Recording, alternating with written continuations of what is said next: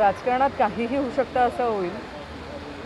शेवटी बघा कालचा तुम्ही प्रवेश बघितला असेल. ज्यांना वाटत होतं की आत्ता पवारसाहेबांकडे काही राहिलं नाही आहे आत्ता जसे जसं निवडणुका लागत आहेत प्रत्येकजण परतीच्या मार्गाला लागलं आहे अजून विधानसभा यायची बाकी आहे इथं फक्त लोकसभेचीच तयारी चालली आहे विधानसभेला बरीचशी लोकं स्वगृही परततील. शेवटी बघा पक्ष आणि पक्षाची विचारधारा जिथे असते ना तिथेच लोकही मतदान करतात. कारण इथे मतदार लोक ही सगळी पक्षाच्या बाजूने आहेत. त्याच्यामुळे काहीही होऊ शकतं. तुम्हाला वेट अँड वॉच करावं लागेल. कोई किसी को ज़बरदस्ती नहीं करता है. पर मैंने ये भी पहले भी बोला है कि जयंत पाटिल साहब थोड़े टाइम के बाद आने वाले हैं ना. आप उनसे पूछ लो ना. नहीं आपकी इच्छा है कि नहीं? मैं जवाब देने से अच्छा है ना? आप जैन पटेल साहब से पूछ लो।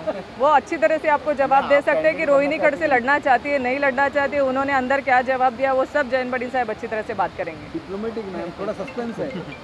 तो सस्पेंस नहीं रखेंगे तो आप बाइट कैसे दिखाएँगे? मैंने खड़से साहब ने तो मैं ऑफिशियल जैन पटेल साहब बात करेंगे यही बोल रही हूँ। क्योंकि प्रांत अध्यक्ष जब बात करेंगे तो वो ऑफिशियल होता है। जिंकून येऊ याचा आम्हाला पूर्ण महाविकास आघाडीचे आमचे प्रत्येक कॅन्डिडेट निवडून येईल हा आम्हाला विश्वास आहे.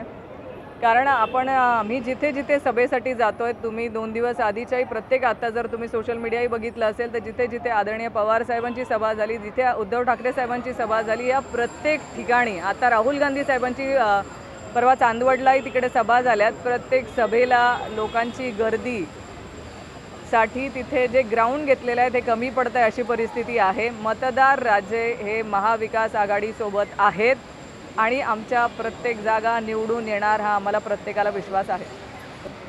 अजून वेळ आहे. अजून काय उद्याच निवडणूक नाही आहे आमच्याकडे लोकसभेला उमेदवारी मागणाऱ्यांची संख्या जास्त आहे. त्याच्यामुळे कुठल्या चांगला पर्याय आम्ही द्यावा याच्यामध्ये आम्ही वेळ घेतो आहे कदाचित त्यांच्याकडे सिंगल पर्याय असावे म्हणून त्यांनी पटापट जाहीर केले आहेत आमच्याकडे भरपूर पर्याय आहेत. थँक्यू